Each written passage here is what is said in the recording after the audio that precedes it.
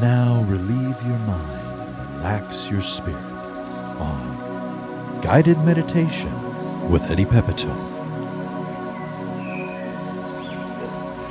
Realize, folks, that we are a doomed species, and I'm bleeding even as I speak to you because I have brushed my hand against a very sharp object that's sticking out of the wall here in my apartment.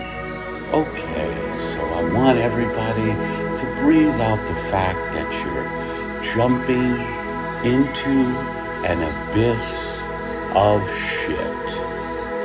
Thanks for joining us for another guided meditation with Eddie Pepitone.